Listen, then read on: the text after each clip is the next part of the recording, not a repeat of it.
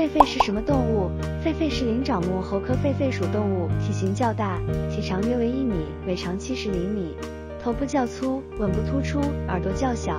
臀部有鲜明的胼胝，毛发多为黄褐色，而且雄性狒狒的面部、颈部、肩部长有长毛，而雌性毛发较短。